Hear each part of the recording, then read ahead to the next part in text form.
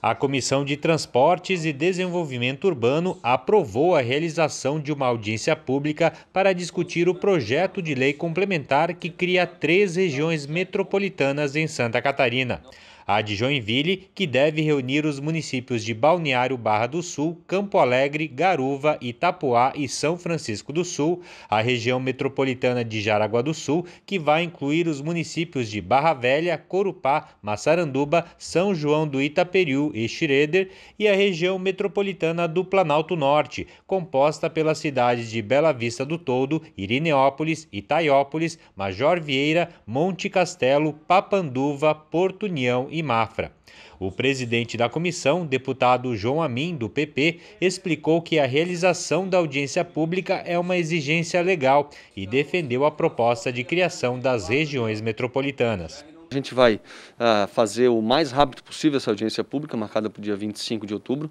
para que a gente consiga aprovar esse ano ainda e a gente espera com isso ajudar a região. Por quê? Porque a gente sabe que o problema de saneamento básico, de transporte, de creche, só para dar três exemplos, às vezes não está concentrado apenas em uma cidade.